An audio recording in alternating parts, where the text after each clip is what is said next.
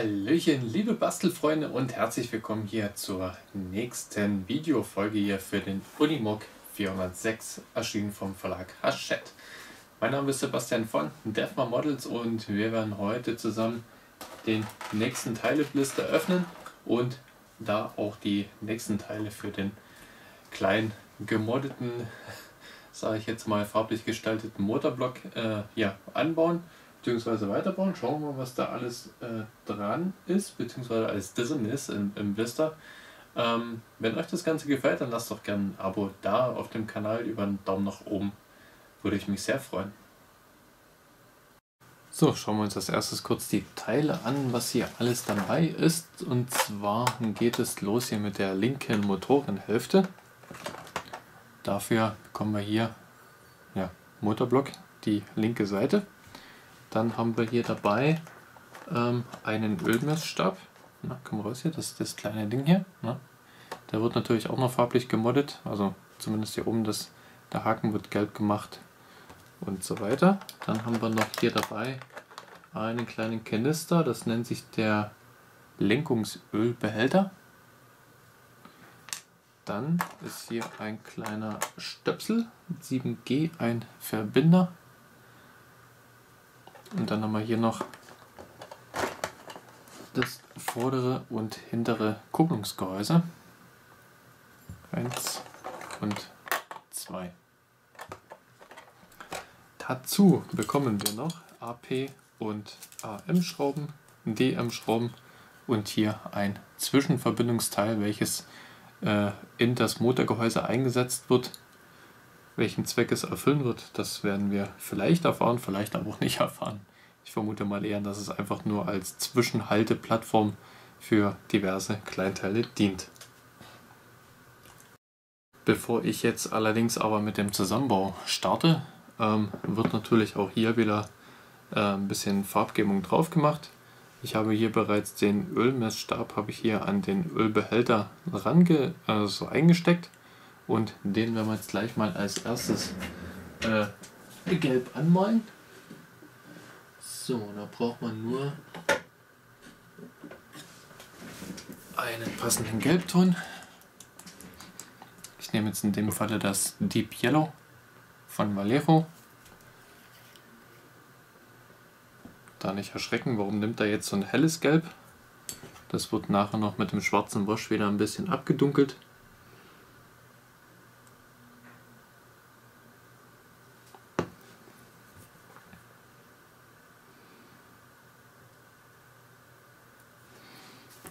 So, wenn jetzt natürlich noch Farbe rauskommen würde, wäre das super. So, ein bisschen in Blister reintun hier.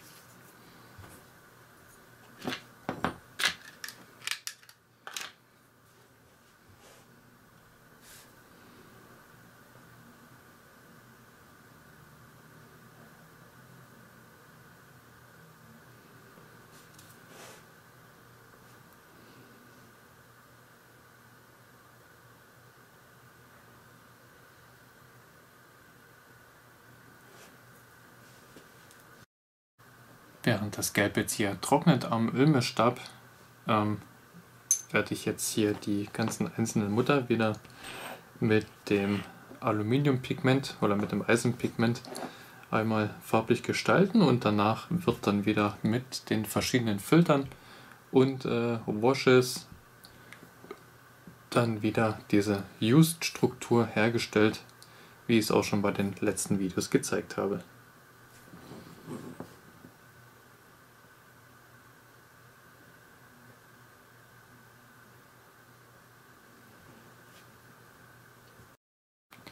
So, ihr seht schon, die Teile sind jetzt entsprechend soweit farblich vorbereitet.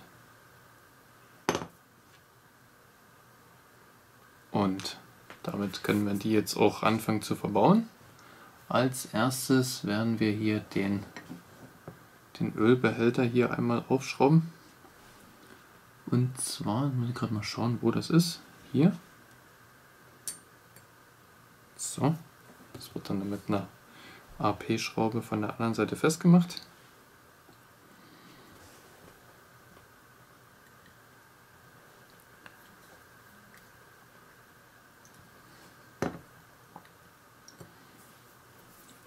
So, als nächstes sollen wir jetzt den Block einmal umdrehen auf die Seite und die Schräge nach oben legen. Nee, halt wie jetzt? Auf einem Bild ist er oben, auf dem nächsten wieder unten. Also machen wir es jetzt so. Und dann kommt das Teil entsprechend jetzt hier rein. Und zwar mit diesen zwei Aussparungen um diese zwei großen Füße drumherum. So. Und wird jetzt hier mit AM-Schrauben wird das Ganze einmal befestigt.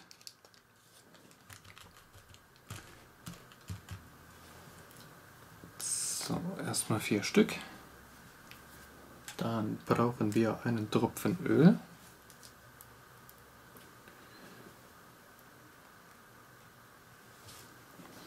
Und schrauben jetzt hier diese Platte innenseitig fest.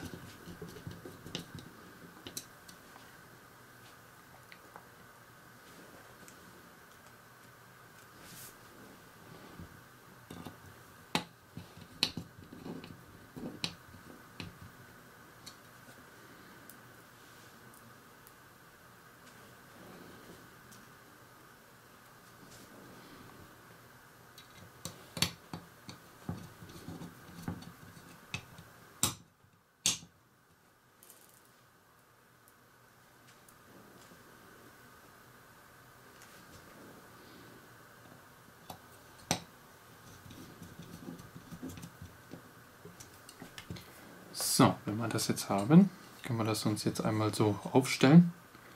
Ich lege es jetzt hin, damit ihr es besser seht. Dann nehmen wir uns diese Hälfte hier vor. Die habe ich jetzt noch nicht gealtert, weil ich nicht wusste oder noch nicht wusste, wie sie festgemacht wird. Die wird jetzt aber hier so aufgesteckt.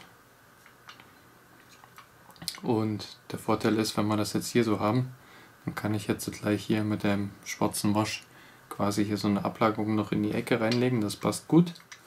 So, also das soll auf jeden Fall jetzt hier außen so drauf. Und hier mit zweimal AM festgeschraubt werden.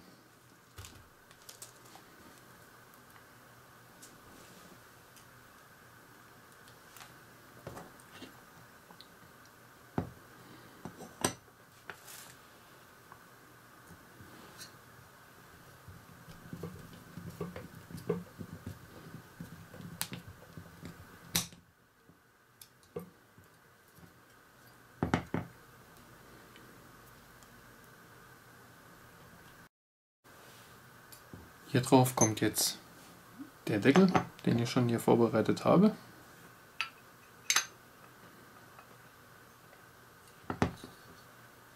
Und den machen wir jetzt mit drei Stück DM-Schrauben noch fest. Dann kommt noch etwas Farbe dran und dann sind wir für heute schon durch. So, also DM-Schraube. Einen Tropfen Öl. Dann machen wir das hier einmal fest.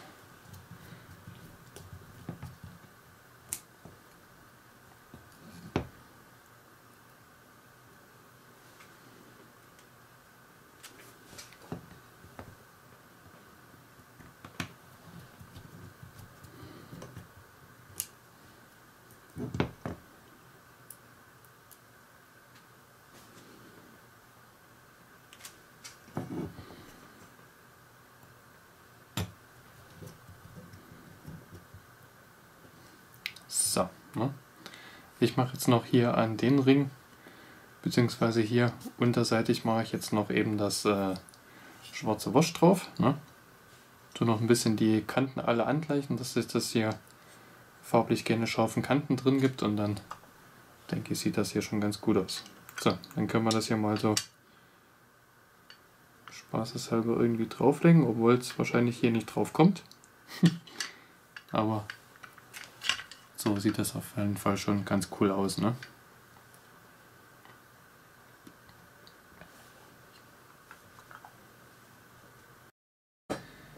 So ihr Lieben, das war's dann auch schon wieder für die Ausgabe Nummer 7 hier beim Unimog 406. Was ihr jetzt natürlich im Video hier nicht gut erkennen könnt, ist das äh, Weathering, was ich jetzt hier an der Motorenhälfte noch angebracht habe. Das könnt ihr natürlich, wenn ihr bei Facebook seid, in der Sammelserie Hachette-Gruppe oder in der Gruppe Bau den Unimog 406 können das Ganze begutachten. Ähm, ich habe hier schon mal Probe gehalten. Wir haben ja hier so eine, also die zwei Teile gehören ja hier logischerweise zusammen nachher. Und diese zwei Schraublöcher hier unten passen genau auf diese, ähm, auf diese von der Plastikschablone hier. Und wenn wir das Ganze hier mal so grob zusammenstecken, dann haben wir hier die Motorenwand, die erste soweit durch. Ne? Und es harmoniert wirklich sehr gut, finde ich super. Ne? Ich muss natürlich ja bloß ganz oben den Deckel noch mal ein bisschen, ein bisschen äh, angleichen an den Rest, sonst sieht das so abgestuft, äh, geputzt aus. Ne? Aber ansonsten finde ich das schon echt klasse. So, dann hoffen wir natürlich mal, dass die nächsten Bauteile pünktlich zum nächsten Montag auch da sind. Also sagen wir bis spätestens Samstag, dass ich natürlich das Video für Montag dann auch produzieren kann. Aber ich bin da guter Dinge. Bis jetzt hat es immer gut funktioniert. Ähm, ja, in dem Sinne, viel Spaß beim Nachbauen und bis zum nächsten Mal. Euer Sebastian von Defma Models. Adi.